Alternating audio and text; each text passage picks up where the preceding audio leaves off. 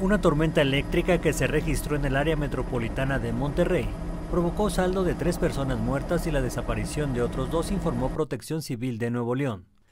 En el cruce de Acueducto y Santa Isabel de la colonia Santa Isabel, en el municipio de Juárez, se reportó al servicio 911 que un vehículo particular cayó al río y fue arrastrado por la corriente con seis integrantes de un mariachi, de los que se logró rescatar a dos.